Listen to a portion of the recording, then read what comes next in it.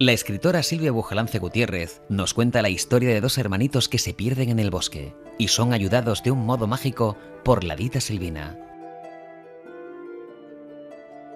Ya a la venta en editorialcirculorrojo.com.